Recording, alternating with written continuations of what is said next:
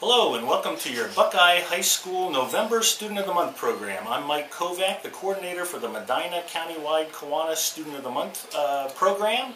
And with me today is Anessa Rogers, your Buckeye High School uh, November Student of the Month. Congratulations, Anessa. Thank you. And Anessa is a junior also. That's two juniors here uh, for the, the females at Buckeye High School to start the year. You're fifth out of your class. Congratulations. That's outstanding. And um, uh, again, as a junior, you've been involved with a lot of activities and such uh, at Buckeye High School, in and out of school. What has been some of your favorites so far that you've been Um, involved with? I really like Huddle. Uh, Huddle's a program where you go down to the elementary school and teach kids about decision making and drugs and alcohol. And this is my third year, so I'm kind of, I'm kind of a veteran, and I, I really think that's fun. I really enjoy doing that. Outstanding.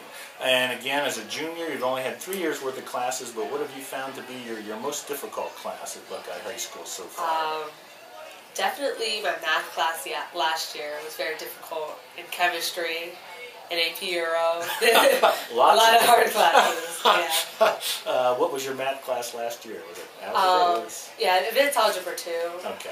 I, it was hard. Always a difficult class. How about on the other side? What's been your most enjoyable class that you've had so? Um, Buckeye I've always I've always loved Spanish class, and I really enjoyed my English class last year. I became a much better writer. Okay. And uh, speaking of the, the Spanish class, you did a short-term exchange, uh, student exchange program, kind of related to that. Also, you Yeah. tell me a little bit about what happened there. I went to Argentina for two months over the summer, and that that was an experience. My Spanish got a lot better. I met a lot of cool people. I learned a lot about Argentine culture, and my, my grandmother's actually from there, so it kind of brought it all home. So that was that was a lot of fun. And how did you how did you find that program? What was that? Uh, Um, I went through Rotary Club, Mhm. and they have a very good program, and there were a lot of other exchange students there as well, so I could connect with other people. So good. Rotary, Rotary, even though it's not Kiwanis, also has a very good program. but uh, yes, so uh, you've also been involved with the Academic Challenge team. Uh, you want to tell me a little bit about that? What's involved uh, with the Academic Um, Challenge team? We we meet uh, twice a week, and, and then we go to, to several different meets throughout the year. Um, it's it's fun. It's different. Um, I'm not necessarily the best member on the team, but I, do like going. And whenever you get that answer right, you're like, yes, I knew that. I knew that. Outstanding. And have you been with that all three years here at? Um, yeah, and also in uh, seventh and eighth grade. Wow, okay. I didn't realize they even did that in the junior high level. That's terrific. And you've also been involved with uh, the theater club here at uh, Buckeye High School. Why don't you tell me a little bit about Um, my What's going on sophomore year, no, actually my, my freshman year, I kind of got one of the major leads, which was a lot of fun, and that was that was in Bye Bye Birdie, and then in and then in my sophomore year, I also got a lead, and that I mean, the, theater is definitely a lot of fun getting up there on stage and just becoming a character. A lot of people wouldn't think of it that way, but I'm glad that you enjoy. Uh, a lot of people would say that's their greatest fear, but uh, that's outstanding that you're able to do that and enjoy it. Uh, one of your nominations for the Student of the Month, month program came from uh, Mrs. Nusky, and which uh, what class did she teach for? Uh, Spanish too. Ah, okay.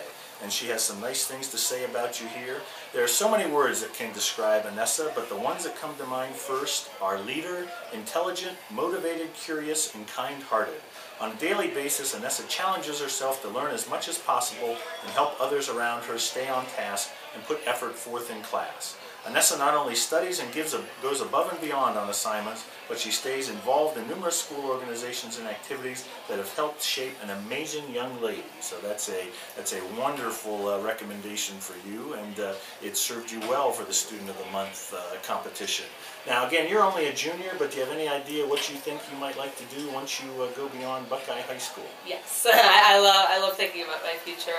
I want I want to go to um, uh, Brigham Young University, uh, majorly LDS college, and uh, there's a lot. I haven't decided what exactly I want to study, but either like political science or psychology or law or business, and I want to study a few more languages to add to Spanish, and I I want to go the FBI, or I might want to do something in politics. I don't really know. I'm trying to figure that out.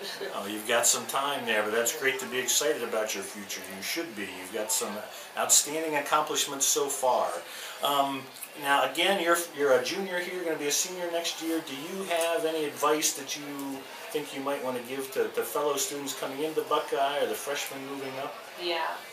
Uh, Buckeye High School is really a good place, and high school is a pivotal point where you can really get involved and do a lot. And I just say you have to work hard in school, and you have to connect with your teachers. And the teachers are really fun, and you can you can really do a lot at Buckeye.